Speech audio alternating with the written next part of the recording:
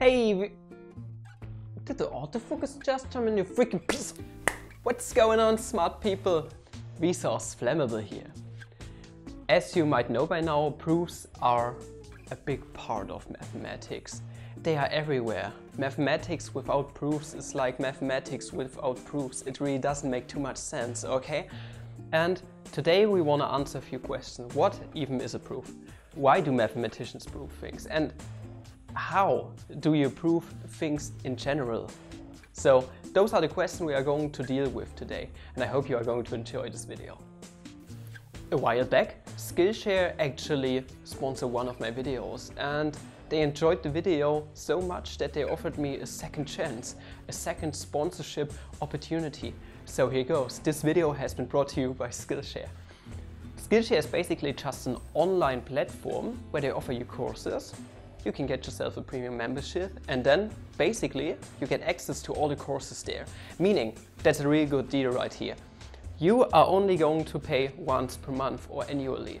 And after that, you can get your hands on over 20,000 courses, thousand upon thousand of courses, ranging from video editing, like using a green screen. So if you want to learn how to use a green screen, go to Skillshare and take a look at some Premiere Pro um, tutorials there or, or, workshops. Or if you want to learn mathematics, first order logic, go there, try out Skillshare. And do you know what the best thing is? You can get two months two months of premium membership on Skillshare for free using the link in the description skillshare.com slash flammable maths or something like this. So if you really want to support the channel, go ahead and try out Skillshare. It's really worth it. I said it in the last video, I tried it out for myself and they got so much content there. You are never going to finish all of this up in your lifetime's worth. Okay, so go ahead, try to support the channel and now for the main video.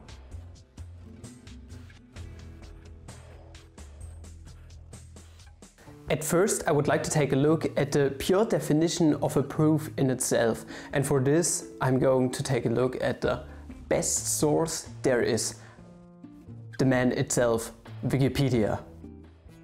Wikipedia states the following. A mathematical proof is an inferential argument for a mathematical statement. In the argument, other previously established statements, such as theorems, can be used. In principle, a proof can be traced back to self-evident or assumed statements known as axioms, along with accepted rules of inference. So this in itself sounded quite abstract, alright? But what are they actually trying to say? Well, a proof in itself is kind of something really simple, you could say. A proof is just a chain of events, you could say, a sequence of statements. And what Wikipedia basically stated is that we are starting from somewhere. Mathematicians also need a starting point. For example, take the Peano axioms. They just tell you something about the natural numbers 1, 2, 3, 4, 5, 6, 7, up until 375, that's the biggest number, all hail Mohammed Ababu. Apart from that. we can make use of those axioms to deduce other statements from that. So for example that if we take 1 and 2, add them together, we get 3. This is still the natural numbers. This is something we have deduced from those axioms. And from this point onwards we have proven a new statement. So with logical reasoning and rigorous axioms that we have constructed ourselves, stuff that mathematicians take for granted, we have proven something and we can use this proven thing to prove other things also. And this is basically what we do with a proof. We try to provide ourselves, the mathematicians, with the absolute truth. Okay, we want to see if a statement can be true. And that's why we are doing proofs, to see if it's really true what we are saying here. Before we come to proofs in itself, I would like to start off with some simple logic, okay? So I hope you agree with me on this one. Let us all agree on some simple axioms. If we have a proposition or a statement, let's call it P. This thing can be either true or it's false, okay? 8 is an even number. This is true. 8 is an odd number. this is false, okay? False statement, true statement. Now, I also want that this relationship is simply binary, okay? So we can't have a statement which is true and false at the same time. And yeah, we have implemented our first logical argument here. We can say that we have a binary relationship regarding statements. Either it's true or it's false. What you can also do with statements is you can quantize them. That sounds quite exciting. This sounds like quantum mechanics. Ooh, please give me the eigenvalues of a Möbius strip right here, okay? I know you are watching Andrew. I love you, my boy. Okay, so what does it mean to quantize statements? Well, we, we can say that a statement is true for one thing, there does exist something that has a certain property, or we can also have the case that for all statements there holds something, okay? So as a little example, for this existence thing we are using this turned around E and for this for all thing we are using this turned around on the head a boy.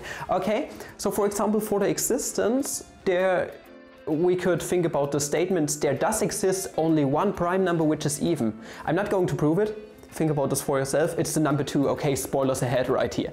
Or we could say on the for all statement, we could turn this around a bit. For all prime numbers greater or equal to 3, we have that they are odd. Okay, this is also a statement that we have right here and this is what it means to quantize statements. Next up is a certain operation on logical arguments which is extremely important, especially when doing indirect proofs. It's the so-called negation. What it basically does is we take a statement P and we are going to say not P. So what mathematicians do there in logic, they are try, trying to provide the reader or whatsoever or themselves with truth tables. So if we had originally that P has been true, then if we say not P, we mean that P is now false. Not P means false. And if we have the other direction, so if we have that P has been initially false, then not P means that our not P is thus true. So we basically just turn around the order of logic, so we are changing its truth value right here. Now that we've got that logic stuff out of the way, let us go ahead and talk about direct proofs. So those are the simplest structures of proofs, okay? But sometimes they are extremely hard to do. That's why mathematicians came up with other kinds of proofs. Some mathematicians I also know that only allow direct proofs and this makes their life so hard from time to time. Okay, but, but we are still going to talk about it. So an easy kind of proof is basically well, just proving an equivalence relation, okay? Meaning, for example, equals to 1 plus 1 is equal to 2. If you take a look at the Peano axioms, 2 is the successor of 1, you use the addition and you get from the one side to the other side, coolio. But there are other kinds of direct proofs you could say. For example, implications. So here's a simple statement and then we are going to talk about implications. We have that if we add two even numbers together, it's going to spit out another even number. Okay, I hope this does make sense to you. If we turn this into a proof, we are going to write everything out nicely at first. We have a number a, for example, being of the form 2 times k, where k is element of natural numbers. Let's do it like this for simplification purposes. This is the pure definition of an easy number.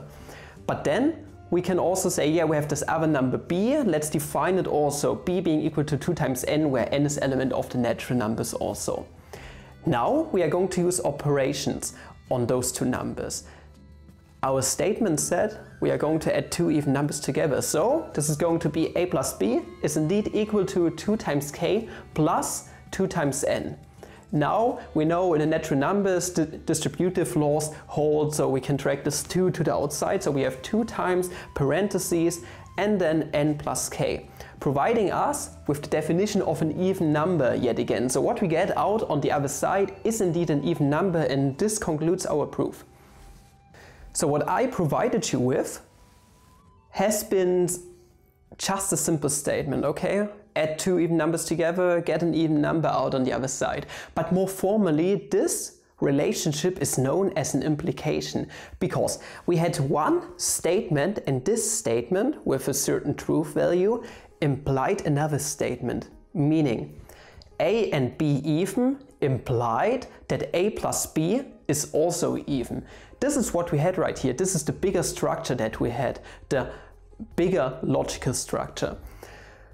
And implications are extremely useful.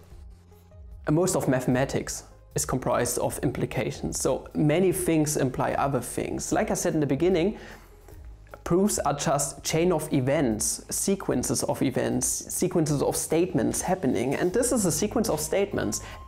P1 implied P2, for example. This is what we had right here more formally. And now we can also talk about the truth table when it comes to implications.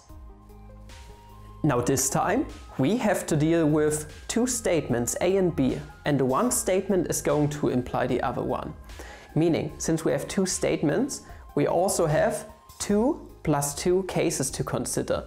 We have that A can be true and then B can be true and we also have that A is true and B is false and then A is false, B is true and then A is false and B is false. Those are the three, uh, those are the four cases that we can possibly have. Those are the truth values of our statements and now we can go through the implications and here's kind of a non-rigorous way of bringing this to you using examples. For example, something true can imply something true and this in itself is a true statement because, well, my dog is a dog does indeed imply that my dog is a dog. So this is a true statement implying another statement. So for example, 1 is equal to 1 does imply, if we add 1 on both sides, that 2 is equal to 2. GG. Nice implication right here, true thing. Now, what about something true implying something false? I mean, this is weird and this doesn't work out. This is something that does not work out and you can probably go into some other axiomatic system when it comes to first order logic and you can probably provide this whole thing with a proof. Or you can basically negate both sides, striving for a contraposition right there, okay? This is probably something you can do. But we are going to take it for granted. Something true cannot imply something false. If something is true in the first case, how can you deduce something wrong from it? It, it really doesn't make any sense, okay?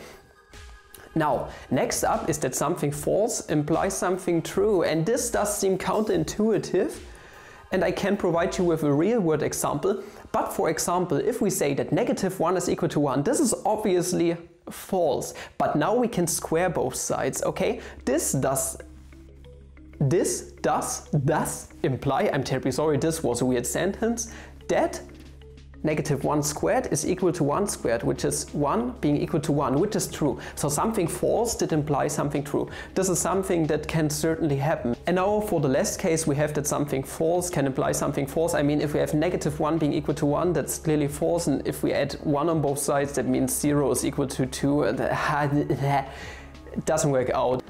So before we can move on, I would like to provide you with a real mathematical example. So that's the point of the video right here, okay? Let us do some other implication yet again. We have that, for example, n is an even number and this does imply that n squared is also even. Okay, let that sink in. We have a proposition there and this does imply another statement. Now, what we say is let n, if we do a proof, be even, meaning this is basically the same as saying n is of the form 2 times k, where k is element of natural numbers, okay? For simplification purposes, just out of natural numbers instead of the positive and negative integers. Now, we go ahead and try to get to the other side of the implication, meaning we are going to square our n. n squared is thus going to be 2 times k times 2 times k meaning we can make use of the property that natural numbers are abelian under multiplication. So we have 2 times 2 times k times k is going to be 2 parentheses, it's associative under multiplication, 2k squared. Meaning it's of the form of an even number yet again. And this is what we wanted to prove. That's a perfectly fine proof and it worked out quite nicely. And here's one more thing I would like to add, like I said before. In schools, the stuff with the implications is all always only implicitly told. So no one tells you that this thing is an implication, they just provide you with some simple proofs. Okay, and there's one thing you really have to understand. We are dealing with an implication and here's a simple real world example that implications don't go backwards. Okay, if you eat shit, then you are a really disgusting person. But simply because you are a disgusting person doesn't mean that you eat shit, okay? Is this clear to you? You eat shit makes you disgusting, but simply because you are disgusting doesn't mean that you eat shit, okay? Implications do not go the other way.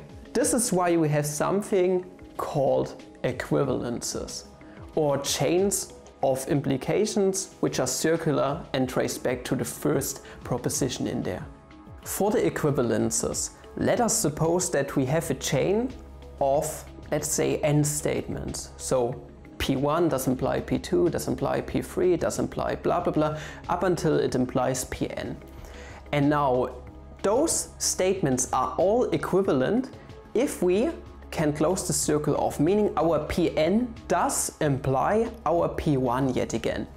Meaning our Pn also does imply P1, but this implies P2, and so on. Meaning overall, each and every statement in there is going to be equivalent and you can go through the truth tables yet again. But for simplification purposes, we are going to just take a look at two statements which are equivalent to each other. Okay, meaning we have P being equivalent to some Q. P being equivalent to Q means basically that P implies Q and also Q implies P. Meaning if we want to prove an equivalence, we have to prove both directions, okay? At first we have to show that P implies Q and then Q implies P. And this is extremely important. A lot of students get this wrong. They want to prove an equivalence, but what they only do is prove one side of the medal, namely one implication. And this is wrong, this is wrong. And now for a little example such that you can actually see how we can prove a simple equivalence. So when mathematicians say something is equivalent to each other, they like to say if and only if. For example, we have this statement, some k is odd if and only if the absolute value of k is odd. For simplification purposes, k is going to be out of the positive integers yet again, so 1, 3, 5, blah blah blah. Meaning this if and only if, sometimes written as IFF, okay, this, this is way cooler, I'm using this too, tells us that we are dealing with an equivalence. So we are going to rewrite this and are going to end up with k odd is equivalent to absolute value of k is odd. And now we can go through this whole implication process once again. At first we are going to say let k be odd, meaning k is of the form 2 times n plus 1 where n is out of the positive integers. Now we can move on and try to get to the other side. What happens when we take the absolute value on both sides of our um, equal equals to of our equivalence relation. I'm terribly sorry. This does mean that the absolute value of k is equal to the absolute value of 2n plus 1. But the absolute value of 2n plus 1, since our k is defined positive, is the same as 2n plus 1. Meaning by definition this is an odd number. We have shown the first um, implication to be true. And now for the second implication. For this we are going to say let the absolute value of k be odd. Meaning if we do this more formally that means the absolute value of k is equal to 2n plus 1 where n is element of the natural numbers without with zero in this case, positive integers. I'm going to stick to terminology as them being the positive integers, okay? Now, we can go on. We want to get to the other side where k is indeed odd. Well, since 2n plus 1 is out of the positive integers, that means our k in itself is positive and the absolute value of a positive quantity, that's the casework you do in the absolute values, is defined as being the argument in itself. So the, the absolute value of k is just k in itself, providing us with what we wanted to prove, little QED square right here, and then you are good to go. This has already been a lot of input right here, but bear with me for a few minutes more, okay? We are done with the direct proofs. This was just a little introduction into direct proofs. And now we are going to talk about indirect proofs. Indirect proofs can really make your life way easier, proof by contradiction or using a contraposition. This is something that's absolutely fabulous. And what we basically do is there we are using the negation operation on a statement. And at first I would like to start off with the easiest kind of indirect proof, the contraposition. For this, we are going to take a look at some statement P implying another statement Q. Now, P implies Q. You can take a look at the truth table and now you can negate everything. Meaning, what is going to happen when you go through this whole truth table stuff? Maybe it's here, maybe not, I, I don't know yet, okay? You are going to notice that after negating both sides, you are going to end up with not Q implying not P. This is the only way our truth tables still keep their um, truth value true. so, not Q implies does not P. And if we can prove this statement, that also means that our original statement is going to be true. To really show you how powerful proof by contraposition is, we are going to go through an example yet again and do a nice little mathematical proof right here. Let us consider some n out of natural numbers or positive integers. Now, 4 to the nth power minus 1 is a prime number if, so implication, n is odd. Now contraposition tells us that we are going to negate both sides. P implies Q becomes not Q implies not P. Meaning not Q in this case is that n is not odd. Meaning n is even does imply 4 to the nth power minus 1 is not prime. This is what we have to show right here. Meaning, let us suppose that our n is indeed an even number, meaning it's of the form 2 times k. Now, we want to get to the other side. Let us consider 4 to the nth power minus 1. We can rewrite this using our condition, so that n is even, into 4 to the 2 kth power minus 1. And now, from here on out, we can actually distribute this squared to the outside. So 4 to the 2 kth power is the same as 4 to the kth power, but squared, and then minus 1. And now you see, this is simply the difference of two squares, meaning we can factor this out, leaving us with 4 to the kth power minus 1 times 4 to the kth power plus 1. And this is good, because this is not a prime number, because we were able to factorize this number into two linear factors, okay? Meaning it's not prime, meaning our original statement is thus also true. Isn't that cool? I mean, this is simply beautiful using simple logic to work around this problem in such a nice way. This is the power of indirect proofs. And now for proof by contradiction, the most famous boy out there probably. Proof by contradiction is yet again just a result of simple logic. Let us suppose we have a statement P yet again. And now we are going to assume that this statement is not true. So we are going to take a look at not P. Now, what would happen if we would arrive at a point where we have a contradiction? Meaning, not P is not true. If not P is not true, this does mean that not not P is going to be true overall. Let it sink in for a sec. We are going to negate our statement. Then we are going to strive for contradiction, proof by contradiction, meaning our negated statement is thus not true, meaning not and not, so that's a double no, okay, no no is a yes, means our original statement is bound to be true.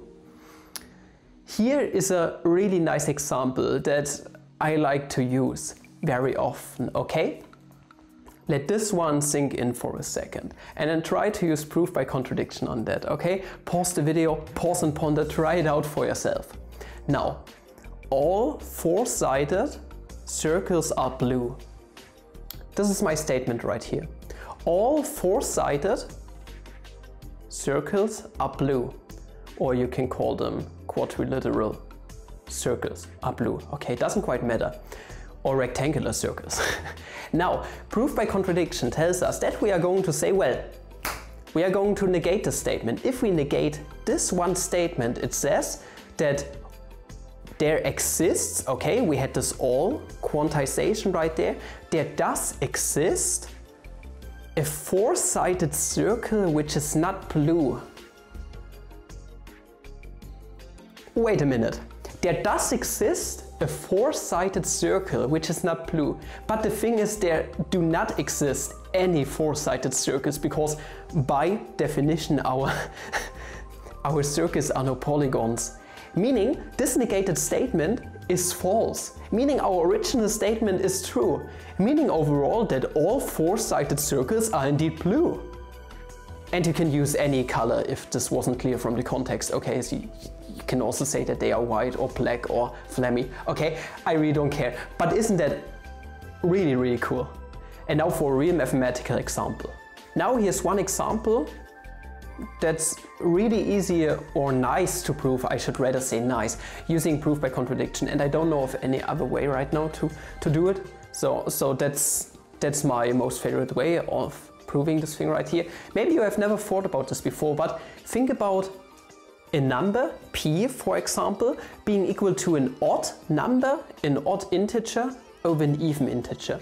Okay, it doesn't seem weird at the moment, but you might notice that this thing is never going to be equal to something out of natural numbers. So this p is going to be an element of the rational numbers, for example. Now, to, to, prove the statement that our p is not element of the positive integers, what we do, we are going to assume that our p is indeed element of the positive integers. Meaning, we can rewrite our p, which is of the form odd over even, as p being equal to 2k plus 1 over 2n for example. Okay? Now, we want k and n to be out of the positive integers once again. I hope that's clear by now. You have to put it in your proof somewhere here, for example. Now, we, under the condition that's not equal to zero, okay, in the positive integers we don't want to have zero in normal case, we are going to multiply both sides by 2 times n. Now what is going to happen? We are going to have 2 times n times p being equal to 2 times k plus 1.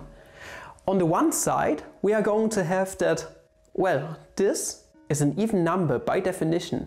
2 times some quantity out of natural numbers. We have assumed that p is also out of natural numbers. Is equal to an odd number. Doesn't work in the natural numbers. I made a proof on that already. Okay, an odd number can't be even at the same time it doesn't work out. 2 is not equal to 1. It's not something that does work out. And thus we have finished the proof because we were running into a contradiction. Okay, little little uh, lighting blitz right here, blitzkrieg. Okay, and yeah.